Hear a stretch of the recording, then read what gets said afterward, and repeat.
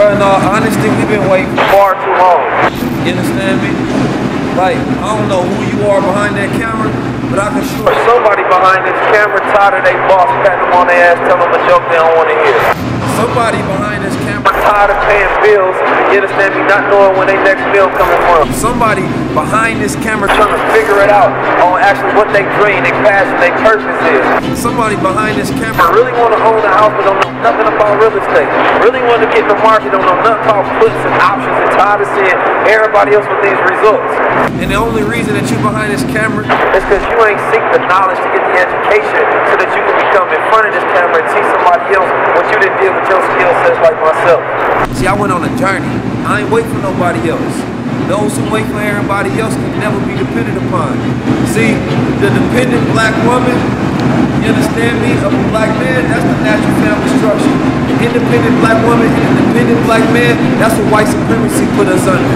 We gotta make sure that we take back our natural rights as human beings on this planet Earth and we move accordingly to our real willpower. We talking about that black God power. I ain't talking about no kings because monarchies don't never last. See, I was born a soldier. You understand me? I was raised in a family of warriors. I was born to be a scholar. You understand me? My bullets was the books that I was given so I can take that knowledge and I can never be imprisoned by somebody else's system. See, it's different when you deliver it with your deliverance to make sure that you never fall into the hands of ignorance. Why? Because they say that knowledge makes a man unfit to be a slave. I've been took off these chains before I put these on. How you think I got that gold? Financial freedom is a different story for it all to be told. And if you love yourself, then you will stop doing wrong. Being a job seeker, you can be a job creator. Being a clout creator instead of being a clout chaser, it's a different conversation when you got all black neighbors. Don't you think that's really gangster?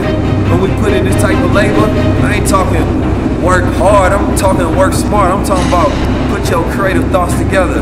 NFT keys, digital assets, different web strategies. I'm my greatest bet. How about you look at your enemies and come to greatest threat? And then look at your brother and unify yet. Different type of intelligence when you understand this game. The feds don't like us. They wish that we would change. Wish that we are all some motherfucking slaves. But the young guys is dangerous we no longer behave. Black woman, don't worry, we finally get on the same page. Black men, put the egos away. Get out that cage. it's that black world order. Me if you do better. But if you wanna rock with the black gods, just become a member.